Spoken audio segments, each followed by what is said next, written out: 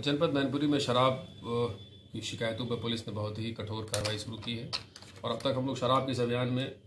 करोड़, एक करोड़ से ज़्यादा की शराब, बिल्कुल जो पैक्ड शराब रिकवर कर चुके हैं और शराब माफियाओं के खिलाफ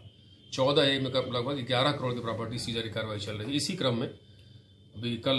किसने पुलिस ने एक बहुत बड़े शराब माफिया ब्यास मुनि के खिलाफ उसकी खेत की प्रॉपर्टी सीज की है और उसके अतिरिक्त उसके घर और अन्य गोदाम भी सीज करने की प्रक्रिया चल रही है। और भी शराब माफिया चिन्हित है। उनके खिलाफ भी चौदह एक में रिपोर्ट जा चुकी है और वो सीजर भी प्रोसेस में है। और अगले दस दिन में हम इन सभी की सारी प्रॉपर्टी जो सीज होने लायक है, कानूनी तौर पर सीज कर लेंगे और इससे शराब माफियाओं पर एक अच्छा संदेश जाएगा कि अब इस काम को बंद करें और अपना जीवन शैली में सुधार करें और जनता के साथ सामान्य व्यक्ति रूप में जीवन यापन करें।